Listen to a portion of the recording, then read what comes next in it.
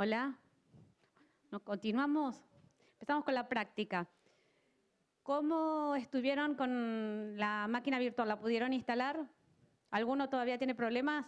Allí.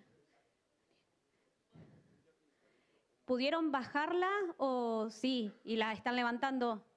Tarda en levantar, igual. ¿Y allá?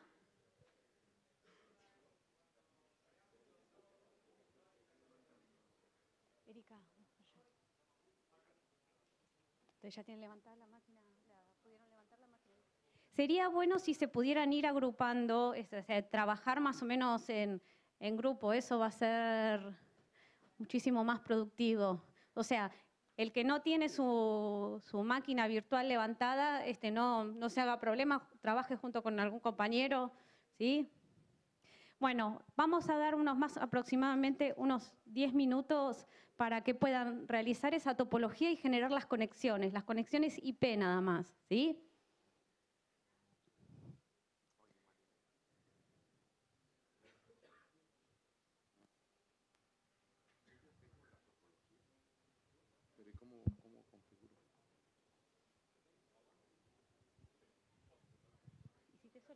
conexiones, perfecto. Y ahora la arrancas de acá. ¿Aquí? Sí.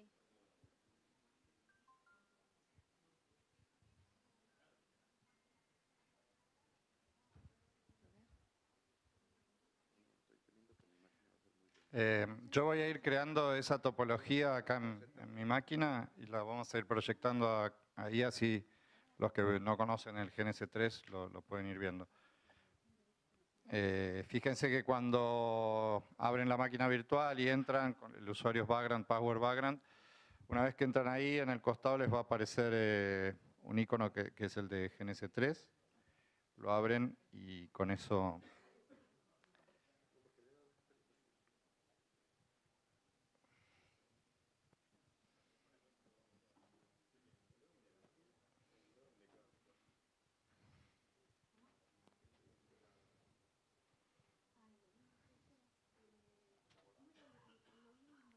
Vagrant. Vagrant, Vagrant, ok, o el de los routers. TC. TC.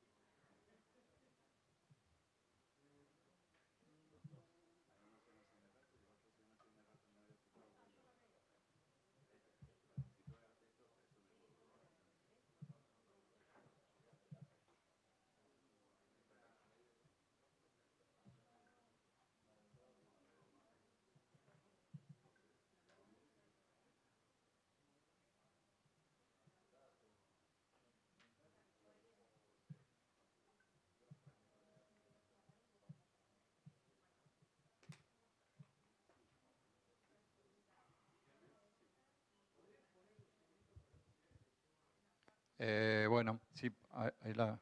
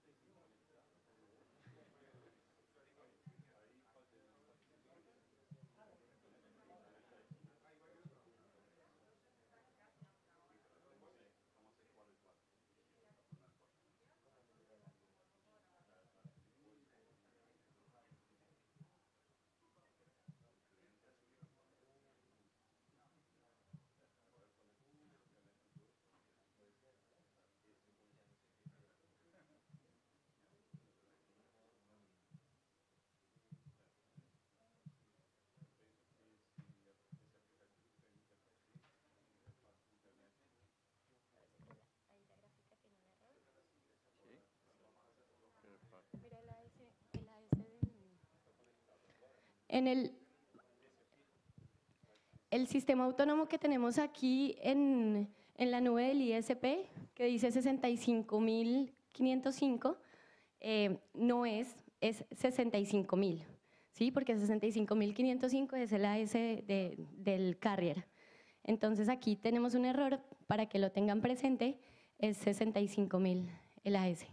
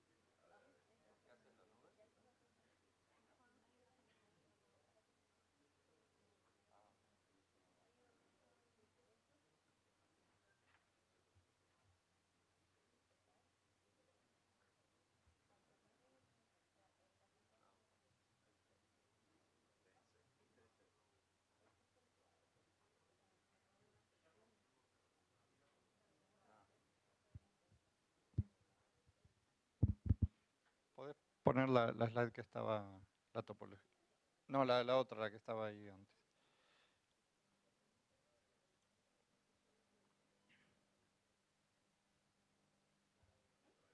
Mm.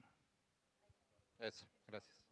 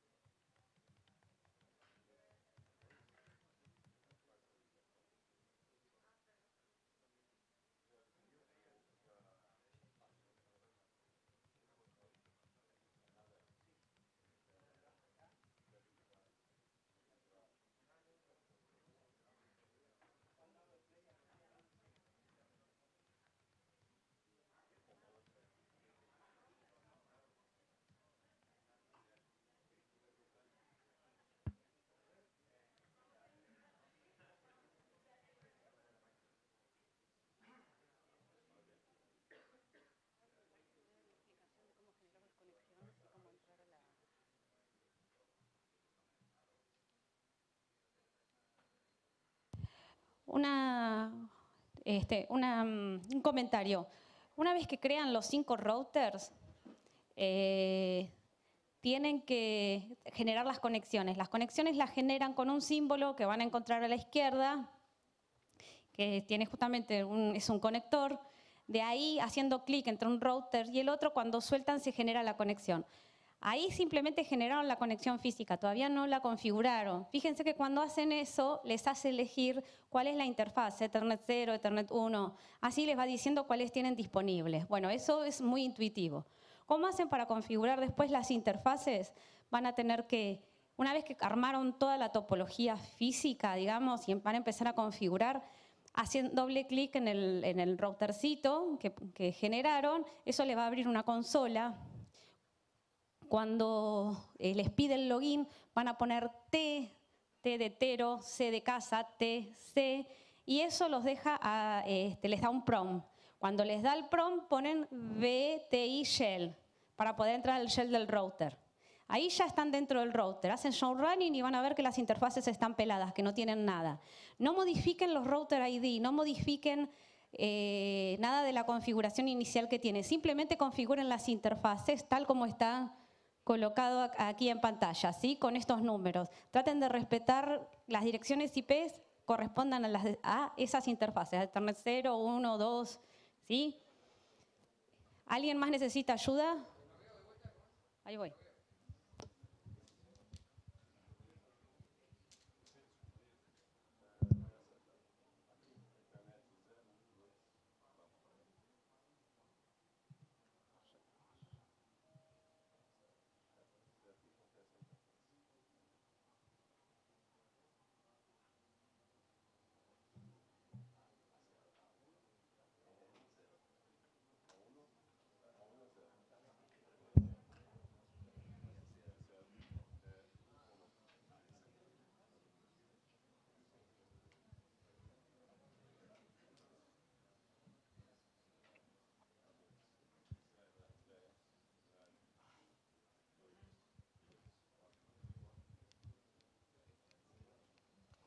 Ahora sí, ponemos la máquina así. Bueno, vamos a ir viendo, para acelerar un poco, cómo hacer esta topología. Eh, ustedes lograron abrir el, simulador. Eh, lo que tienen que hacer es crear un proyecto nuevo y van acá al icono de router y arrastran este que es ICCM router y esta es la, eh, un esquema de la topología que estaba ahí, ¿no? Con los dos routers del ISP y los dos clientes y el, el, que sería el proveedor del ISP, es el upstream. Eh, una vez que, que, crearon eso, bueno, como decía Mariela, con este iconito van creando los links entre routers y van conectando las, las interfaces entre, entre estos routers. Una vez que tienen eso creado, eh, le dan a esta flechita para que arranque la simulación. Y ahí deberían cambiar de color los links. Y con eso ya los routers empiezan a, a funcionar. Si hacen doble clic, por ejemplo, vamos a empezar a configurar este router. Le dan doble clic.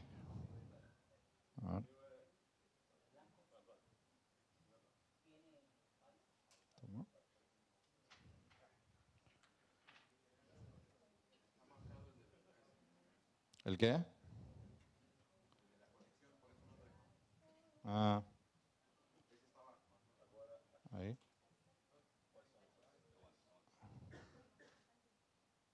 Ahí está. Bueno, va a tardar en, cargar el router.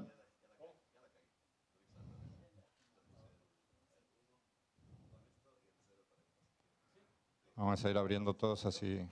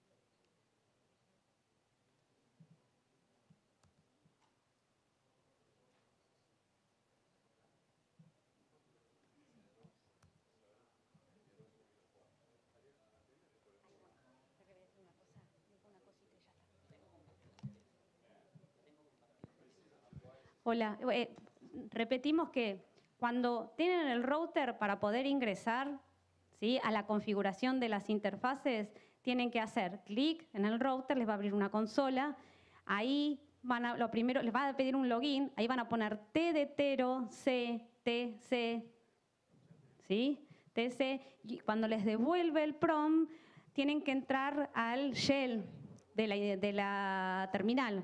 Entonces tienen que poner V corta o V, V corta, T, I, S, H, todo junto, VTI, SH con Y, y eh, ahí entran a la consola de la, del router.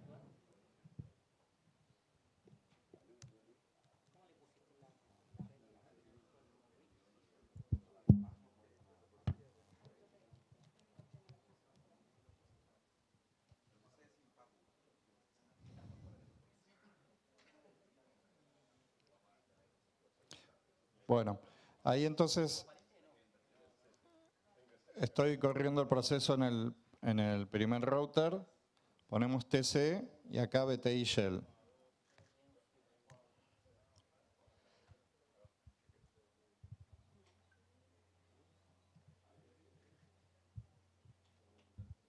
Acá pueden poner show running y va a mostrarles la configuración que tiene actualmente.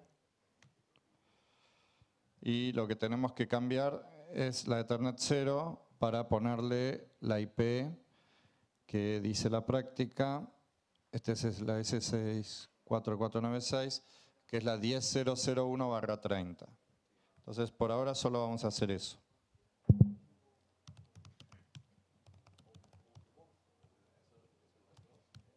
Una cosa importante, no abrevien cuando escriban la interfaz, porque va a crear una nueva. Tienen que poner ETH0.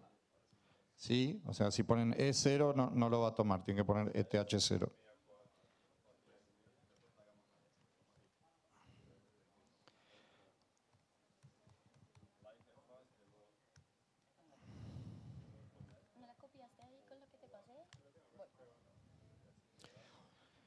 Eh, espera, no me saques eso. Sí, tengan eso. Ahora que lo sigan de acá directamente, ya estamos haciendo el... Están ahí. Atiendan ahora acá porque ya estamos haciendo el ejercicio directamente, ¿no? Eh, vamos a, a, bueno, al otro router, por ejemplo.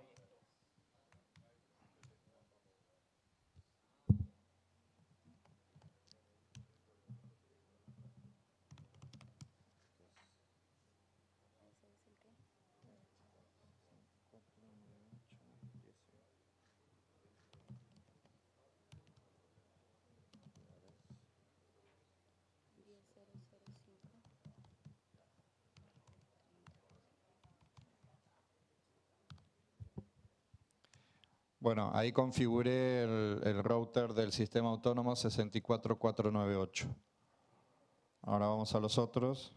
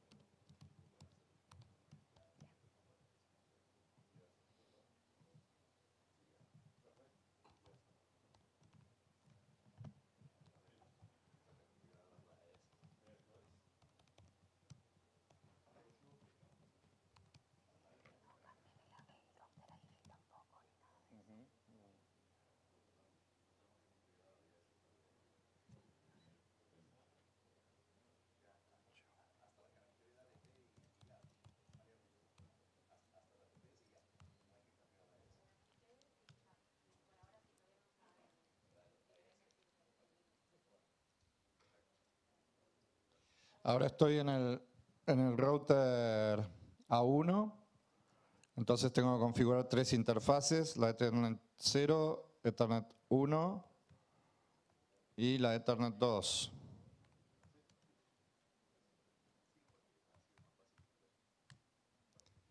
IP address eh, 10021-24.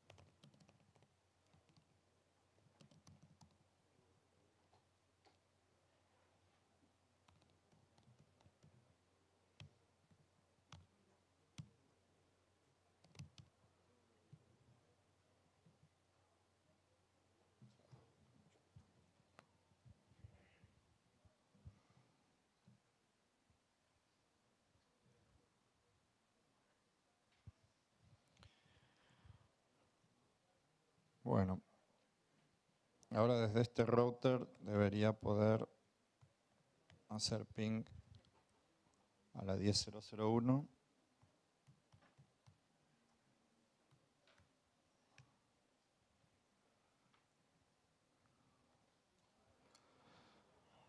A la 10005.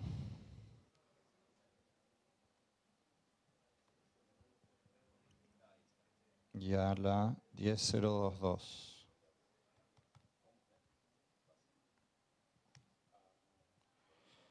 Oh.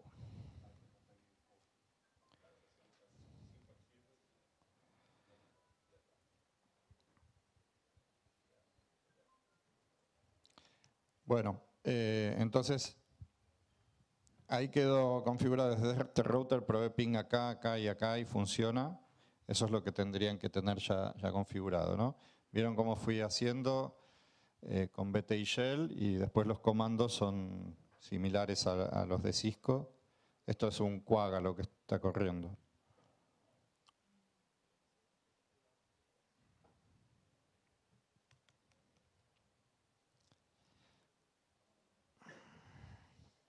Se me corta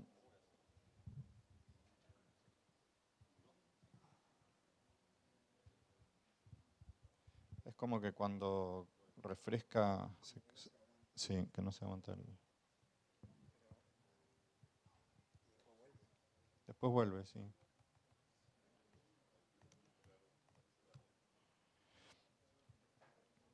Bueno, ven que ahí tienen las tres, ves ahí se, se cortó.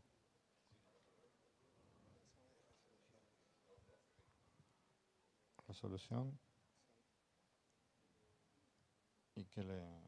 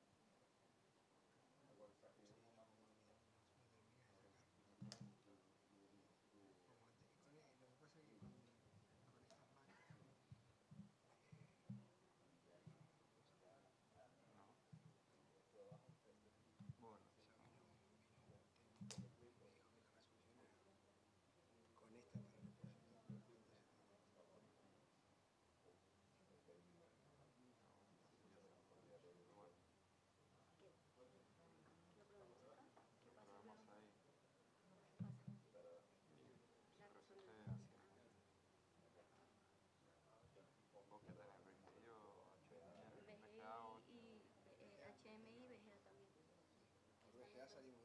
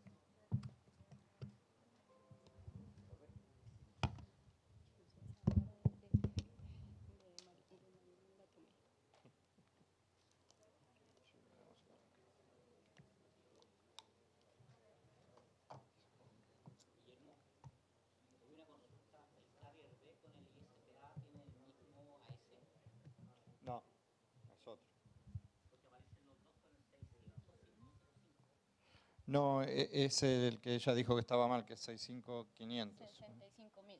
65.000. 65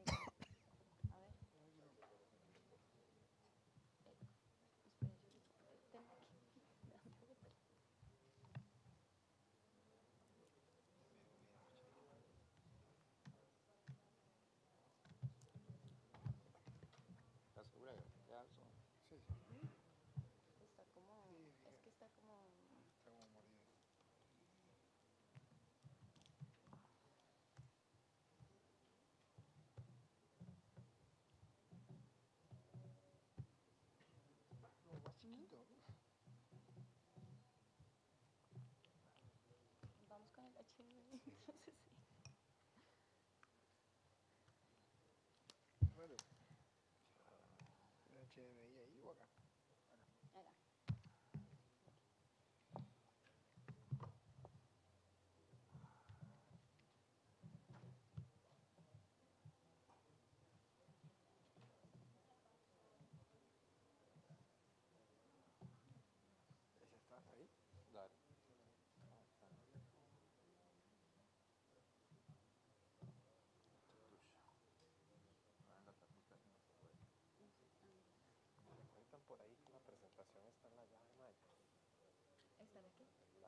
información está en la, en la memoria, en el USB.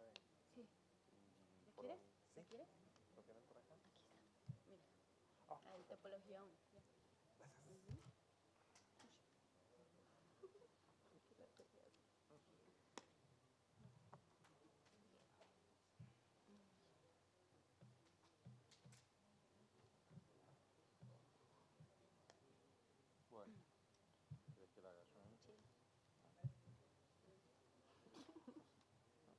ahora que no está nada ¿no? hecho, otra vez tengo que hacer todo.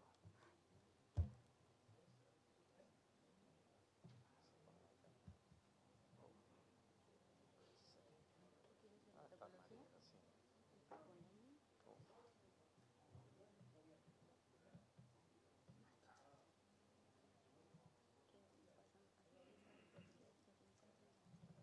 ¿Ya tiene? ¿Dónde decís que te van quedando acá? Sí.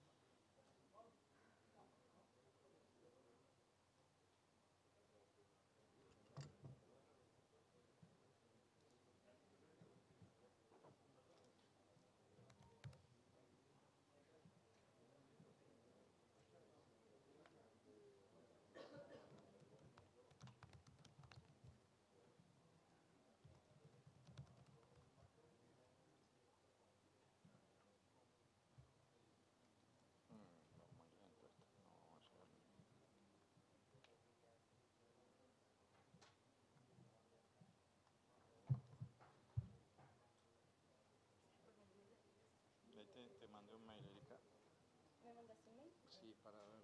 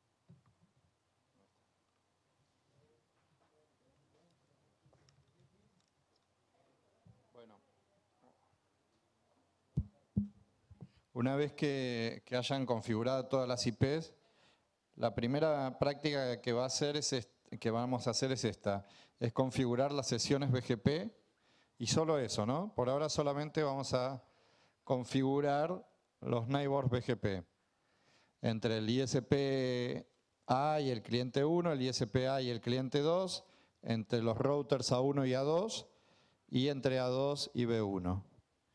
Em, l- ahí fíjense que van a tener BGPs externos y BGP internos. ¿no? En- por ejemplo, en- entre A1 y A2, que son los dos routers del ISPA, van a hablar BGP interno. Eh, entre el ISPA y el cliente 1 y ISPA y el cliente 2 van a hablar BGP externo. Ahí tienen que usar los sistemas autónomos que están en el gráfico, en el dibujo de la topología. Eh, y por ahora solamente configurar los neighbors, no hacer nada más, no anunciar rutas ni nada, simplemente eso. Eh.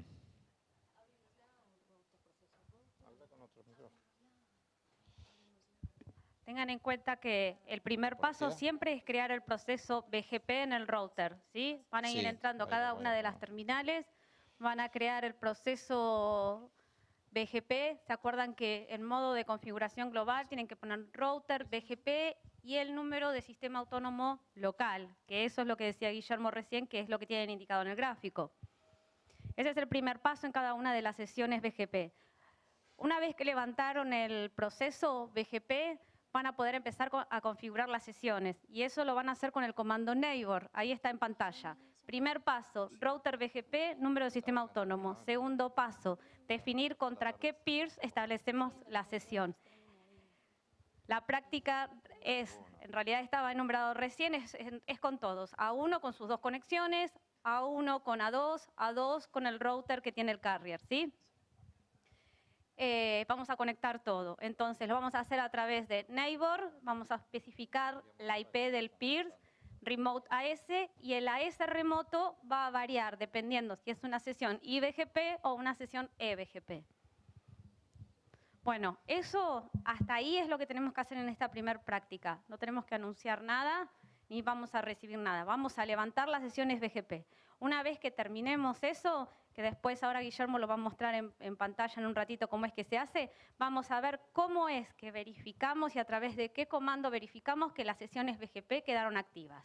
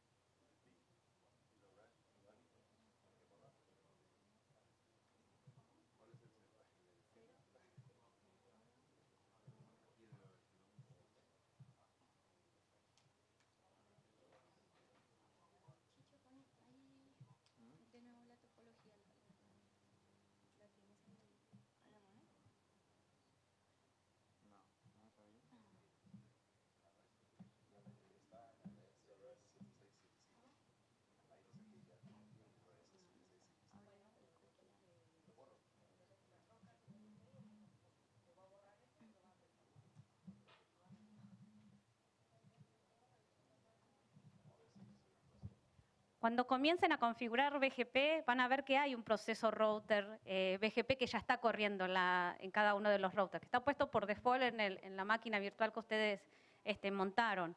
Entonces, es- eh, mm, nada, no se preocupen, directamente cuando configuren router BGP con el AS que le van a poner a ustedes, lo va a reemplazar. Simplemente, ¿no lo reemplaza? No, hay que borrar. ¿Hay que borrarlo? Bueno, entonces bórrenlo. Ah, Porque no, te- deja, porque te dice que tiene que haber un solo proceso BGP corriendo. ¿No es cierto? Te dice eso, sí. Entonces bórrenlo y lo, lo crean de nuevo. ¿Saben borrar el, el proceso router? En modo de configuración global, simplemente ponen no y la sentencia completa. No router BGP y el número que tenían puesto por default.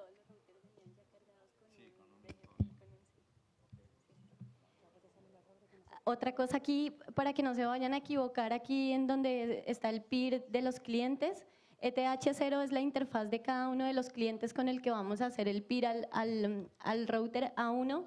Entonces, ETH0 tenemos acá, ETH0 acá, luego conectamos el cliente 1 con el ETH0 del A1, cliente número 2, ETH0, su interfaz ETH0 con el ETH1 del A1, y en el A1 tenemos la, la siguiente interfaz, que es la ETH2, que vaya contra el otro router del ISP.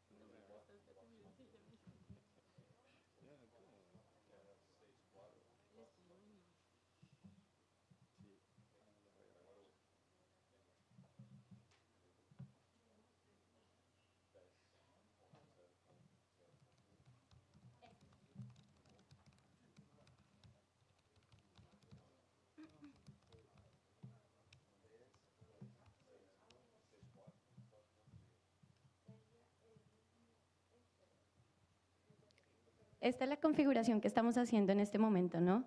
Cuando ponemos eh, router BGP, empezamos a configurar con el número de sistema autónomo de cada uno de, los, de las nubes que tenemos ahí. Si les aparece el error de nuevo que dice que ya existe el proceso BGP con otro ASN, entonces le vamos a dar no router BGP, el número del sistema autónomo que les está apareciendo ahí y volvemos a iniciar la configuración con router BGP.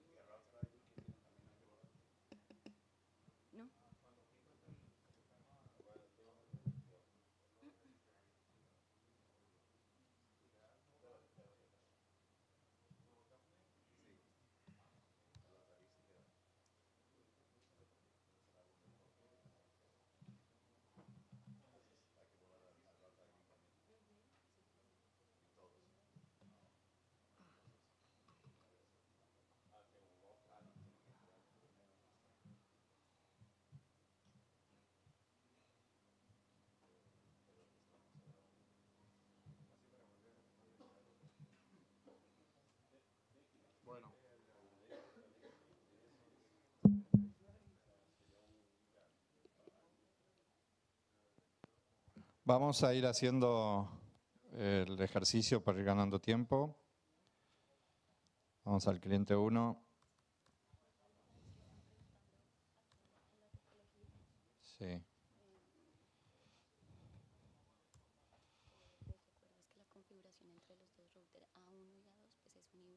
Sí. Si miramos la configuración, el router A1 tiene ese router BGP 7675, lo vamos a sacar.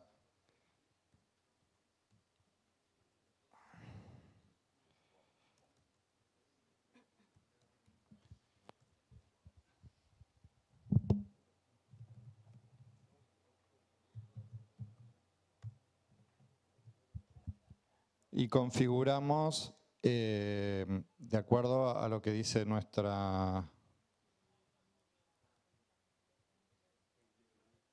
Oh, no tiene esto.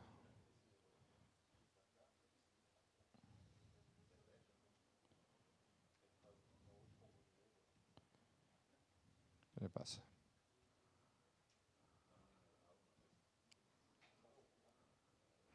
Eh, el, el- la- el sistema autónomo es 64496 y vamos a levantar una sesión BGP contra el 65500, ¿no? Este estaba mal.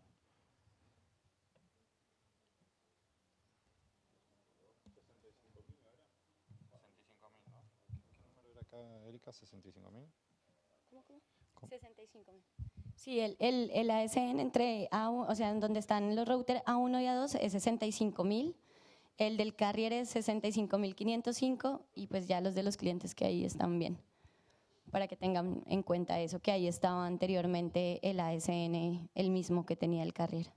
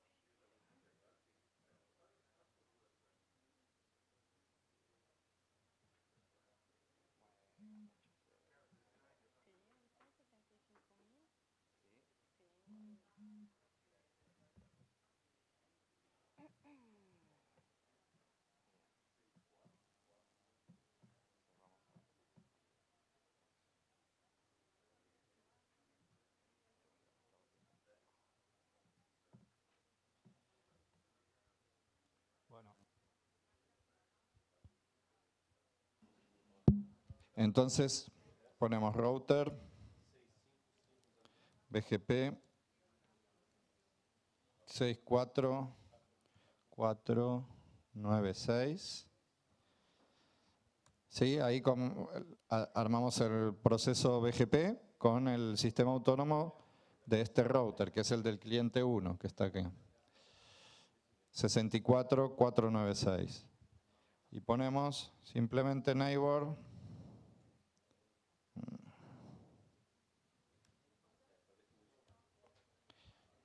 la IP del neighbor, que es 10.002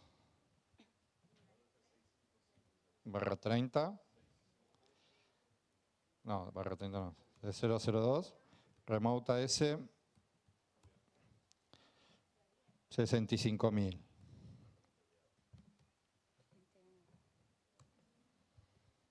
Con eso ya está lo que queríamos hacer en este router. Network is unreachable. Ah, no están configuradas. Ah.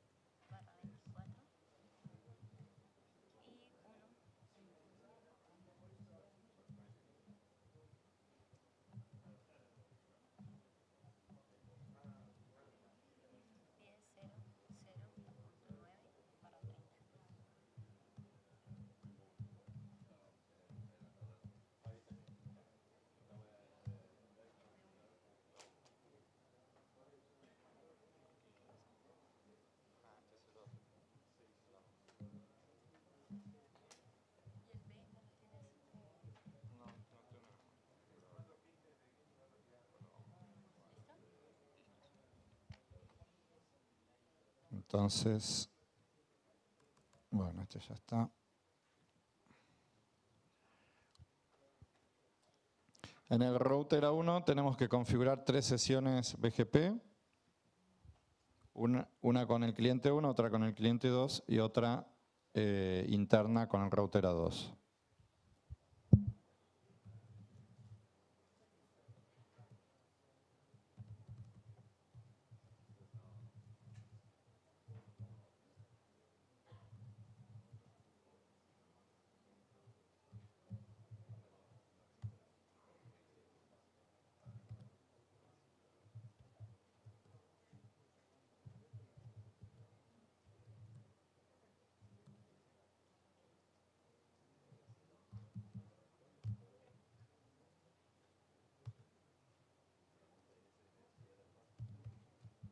Fíjense que ahí cuando configuré el, el, neighbor del cliente 1 ya me puso que, que la adyacencia estaba arriba, levantó.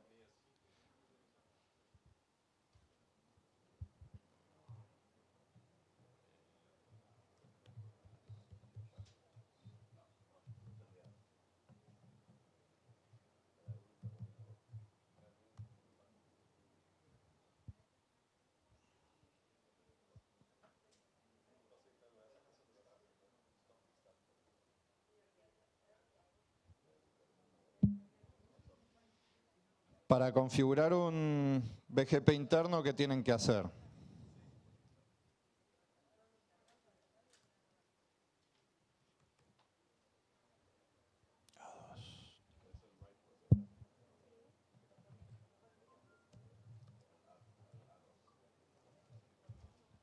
Ahora estoy configurando esta sesión BGP entre estos dos, que dijimos que es una sesión BGP interna.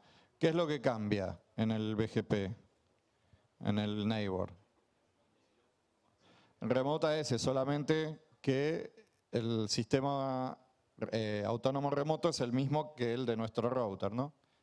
El proceso BGP tiene un sistema autónomo y es el mismo del sistema remoto.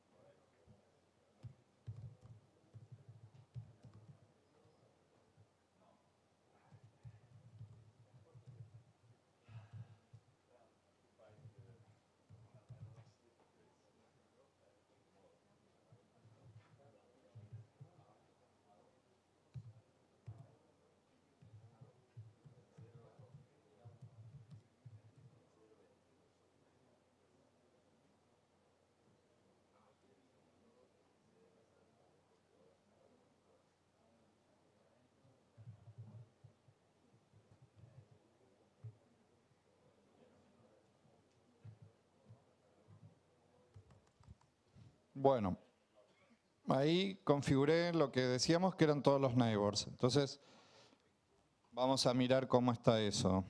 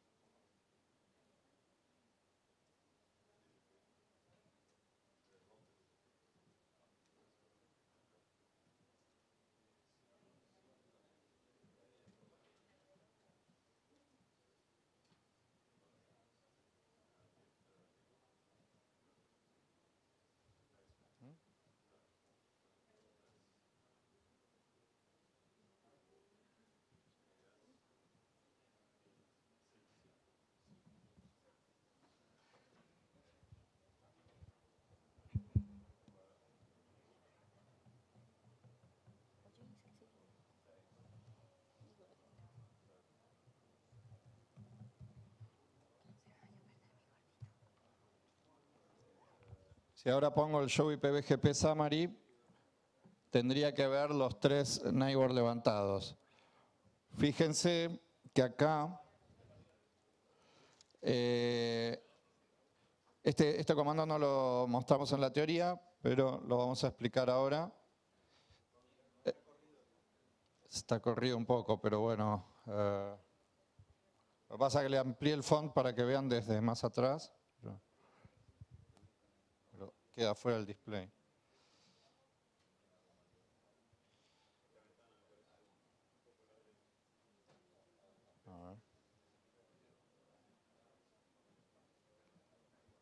Ahí.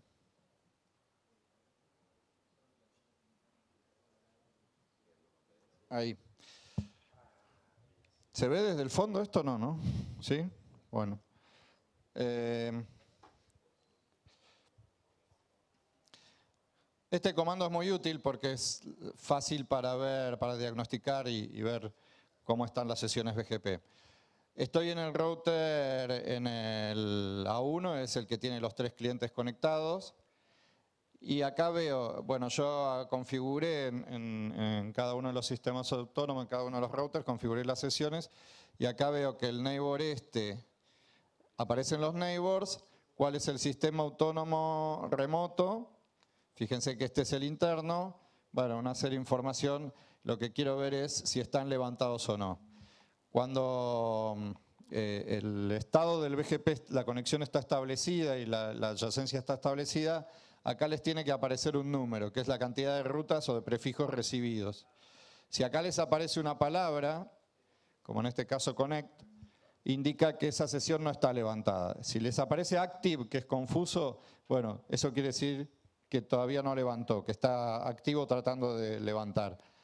En este caso, fíjense que solamente levantaron dos de las sesiones y hay una que no levantó, que es la, la sesión contra el cliente 2, que es la esta. Vamos a ver de nuevo si sigue sin levantar. Sí, bueno, entonces hay que revisar esa, esa configuración. Primero miramos tener conectividad.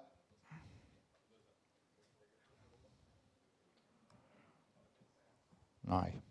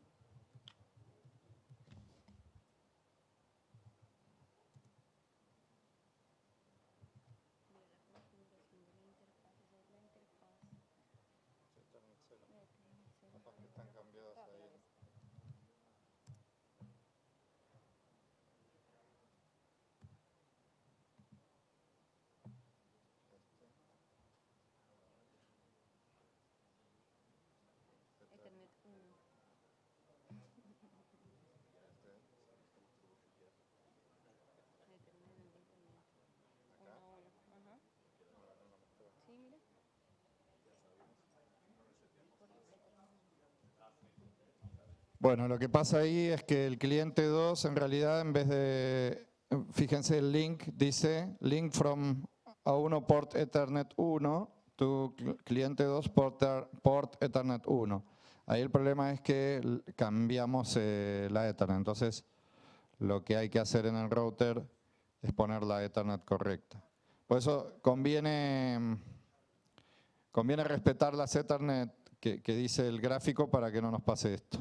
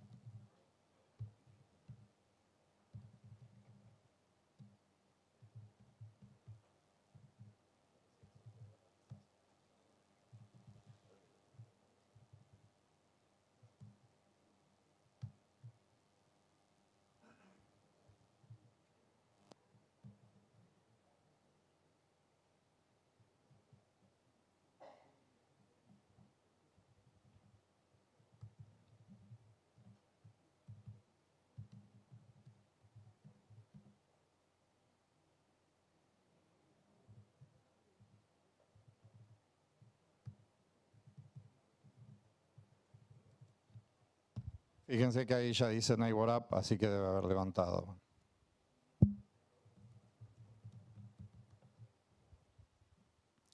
Y ahí tienen, el estado ha cambiado acá y en el otro también tiene que haber cambiado.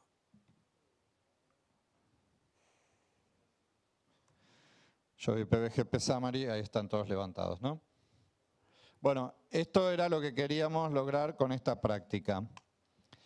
Eh, levantar todas las sesiones BGP. Como ven ahí tienen levantadas sesiones BGP externas y BGP internas. Estas dos serían externas y esta es interna. Eh, bueno, así como está, no están publicando nada, ¿no? Entonces, el próximo ejercicio va a ser publicación de una ruta.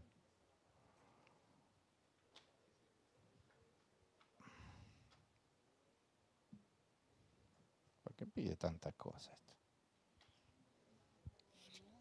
esto? ¿Qué dice acá? Faltó este, ¿no? Bueno, falta... No, ya está.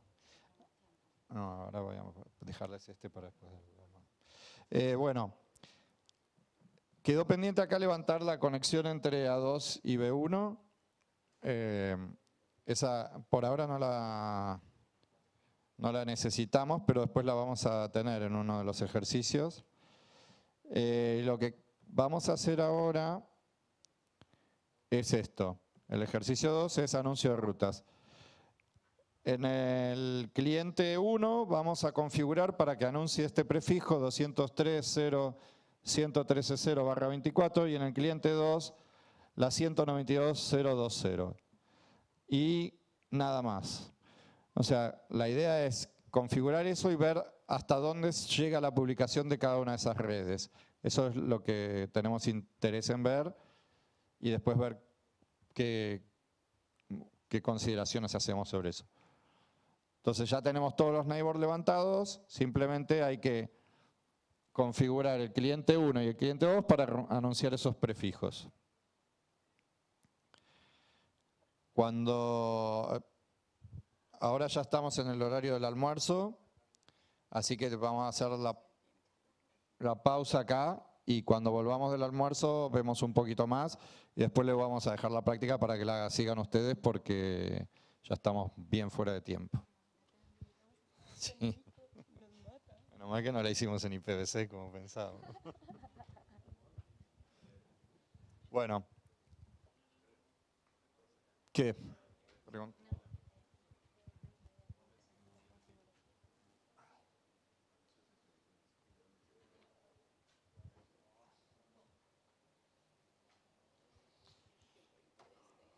¿Eh? Si, si alguno tiene una pregunta, la puede hacer ahora o a la vuelta del almuerzo. Este, podemos, almorzamos.